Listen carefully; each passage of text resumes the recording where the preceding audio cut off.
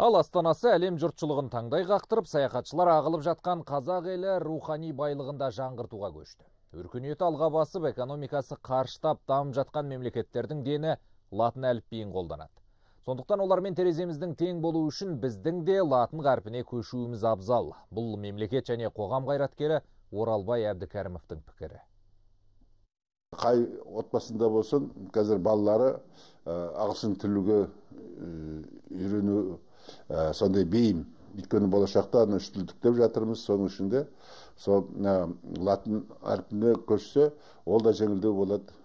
Жаңағы тіл игеруге сосын басқа ұлттың өкілдері де осы қалаға келгенде барлық жарнамалар біздің латын әріпесінде оқитын болса оларда да ешқандай былай проблема туғызбайды дегенім ғой. Қарым қатынаста аралағанда туристерге